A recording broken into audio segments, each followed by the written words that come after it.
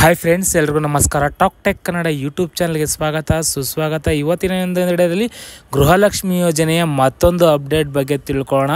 ಅದೇನಪ್ಪ ಅಂತಂತಂದರೆ, ನೀವು ಟೈಟಲ್ ಹಾಗೂ ತಮ್ನೇಲ್ ನೋಡಿರೋ ಹಾಗೆ ಗೃಹಲಕ್ಷ್ಮಿ ಯೋಜನೆಯ ಇನ್ನು ಯಾರ್ಯಾರಿಗೆಲ್ಲ ಮೂರನೇ ಕಂತಿನ ಹಣ ಇನ್ನೂ ಬಂದಿಲ್ಲ, ಅವ್ರಿಗೆ ಈ ತಿಂಗಳು ಬರೋದಿಲ್ಲ.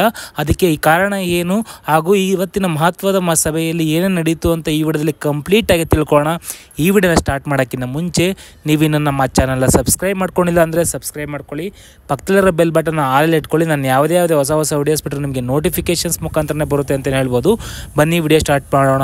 ಹೌದು ಫ್ರೆಂಡ್ಸ್, ಇನ್ನು ಯಾರ್ಯಾರಿಗೆಲ್ಲ ಗೃಹಲಕ್ಷ್ಮಿ ಯೋಜನೆಯ ಮೂರನೇ ಕಂತಿನ ಹಣ, ಅಂದರೆ ಇವತ್ತು ನಡೆದ ಮಹಾ ಮಹತ್ವದ ಸಭೆಯಲ್ಲಿ ಮಾನ್ಯ ಸಿ ಎಂ ಸಿದ್ದರಾಮಯ್ಯ ಸರ್ ಅವರು ತಿಳಿಸಿರೋ ಪ್ರಕಾರ, ಇನ್ನೂ ನಲವತ್ತು ಪರ್ಸೆಂಟ್ ಜನಗಳಿಗೆ ಮಾತ್ರ ಮೂರನೇ ಕಂತಿನ ಗೃಹಲಕ್ಷ್ಮಿ ಯೋಜನೆಯ ಹಣ ತಲುಪಿದೆ. ಆದರೆ ಇನ್ನೂ ಅರವತ್ತು ಪರ್ಸೆಂಟ್ ಜನಗಳಿಗೆ ಇನ್ನು ಗೃಹಲಕ್ಷ್ಮಿ ಯೋಜನೆ ಮೂರನೇ ಕಂತಿನ ಹಣ ತಲುಪಿಲ್ಲ.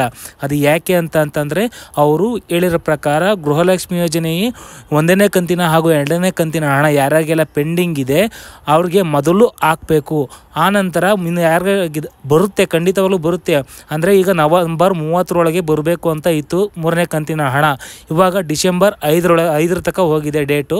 ಆದರೆ ಇವಾಗ ಬರ್ತಿರೋ ಮಾಹಿತಿ ಪ್ರಕಾರ ಗೃಹಲಕ್ಷ್ಮಿ ಯೋಜನೆ ಒಂದನೇ ಕಂತಿನ ಹಣ ಹಾಗೂ ಎರಡನೇ ಕಂತಿನ ಹಣ ಯಾರ್ಯಾರಿಗೆಲ್ಲ ಬಂದಿಲ್ಲ, ಅವ್ರಿಗೆ ಮೊದಲು ಹಾಕಬೇಕು. ಅವ್ರಿಗೆ ಡೆಡ್ಲೈನ್ ಇರೋದು ಡೆಸ್ ಡಿಸೆಂಬರ್ ಮೂವತ್ತೊಂದು, ಯಾರ್ಯಾರಿಗೆಲ್ಲ ಒಂದನೇ ಕಂತಿನ ಹಾಗೂ ಎರಡನೇ ಕಂತಿನ ಹಣ ಇನ್ಯಾರಿಗೆಲ್ಲ ಬಂದಿಲ್ಲ, ಅವರಿಗೆ ಮೂವತ್ತೊಂದರ ತನಕ ಡೆಂಡ್ಲೈಲಿಂದ ಅಷ್ಟರಲ್ಲಿ ಕ್ಲಿಯರ್ ಮಾಡಬೇಕು ಹಾಗೂ ಮೂರನೇ ಕಂತಿನ ಹಣ ಈ ತಿಂಗಳಲ್ಲಿ ಬರೋದಿಲ್ಲ.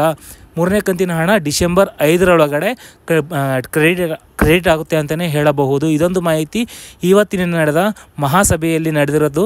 ಈ ಒಂದು ಮಾಹಿತಿ ಇಷ್ಟ ಆಗಿದೆ ಅಂತ ಅಂದ್ಕೊತೀನಿ ಈ ಒಂದು ಮಾಹಿತಿ ಇಷ್ಟ ಆಗಿದ್ರೆ ಲೈಕ್ ಮಾಡಿ, ಕಮೆಂಟ್ ಮಾಡಿ. ನಿಮ್ಮ ಫ್ರೆಂಡ್ಸ್ ಫ್ಯಾಮಿಲಿ ಜೊತೆ ಶೇರ್ ಮಾಡ್ಕೊಳ್ಳಿ ಅಂತ ಹೇಳ್ತಾ. ನೆಕ್ಸ್ಟ್ ವಿಡಿಯೋದಲ್ಲಿ ಸಿಗ್ತೀನಿ. ಅಲ್ಲಿವರೆಗೂ ಟೇಕ್ ಕೇರ್ ಬಾಯ್ ಜೈ ಹಿಂದ್, ಜೈ ಕರ್ನಾಟಕ ಮಾತೆ.